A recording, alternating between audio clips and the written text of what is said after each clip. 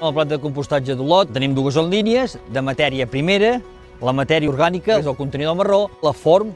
i els fangs procedents de les depuradores públiques de la comarca i comarques eh, veïnes. Tant la form com el fang segueixen un procés de compostatge similar,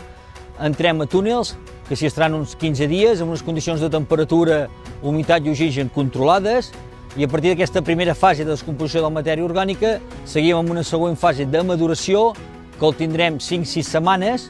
seguint controlant l'humitat i la temperatura, així com l'oxigen, però amb una velocitat ja molt més lenta per acabar d'obtenir el producte que posarem a disposició de la gent de la comarca que està interessada per venir a buscar.